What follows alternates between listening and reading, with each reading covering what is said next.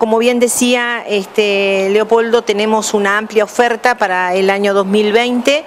Eh, ya habíamos anunciado los profesorados, que son este, profesorados nuevos, el profesorado de, para la enseñanza secundaria en lengua y literatura este, y el profesorado para la enseñanza secundaria en matemática.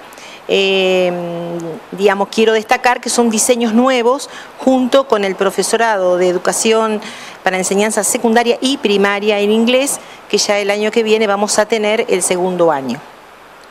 En cuanto a las tecnicaturas, además de la que ya mencionó este, Leopoldo, la tecnicatura superior en automatización y control, que va a ser un gran desafío porque va a ser eh, una articulación con los entornos formativos de la escuela técnica.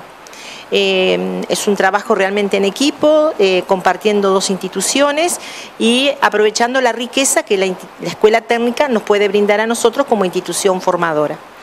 Eh, después este, vamos a continuar fortaleciendo la Tecnicatura Superior en Enfermería, porque sigue siendo una necesidad en nuestra localidad y en las localidades vecinas y eh, finalmente acompañamiento terapéutico, que también es una necesidad, eh, no solamente en el, campo educativo, sino también este, en el campo de la salud en general.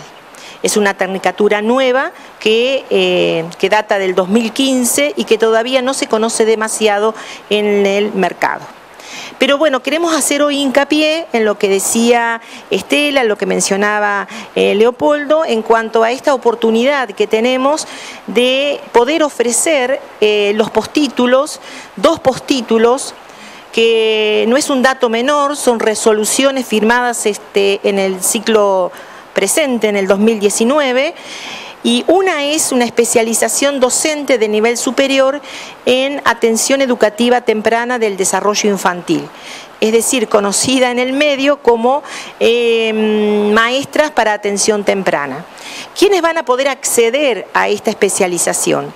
Quienes tienen el profesorado de educación especial en cualquiera de sus orientaciones, es decir, neuromotores, intelectuales, visuales, etc.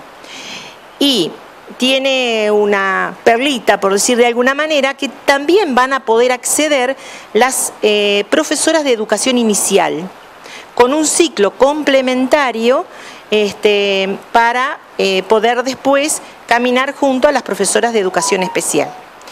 Em, este, esta especialización aproximadamente son dos años y es semipresencial.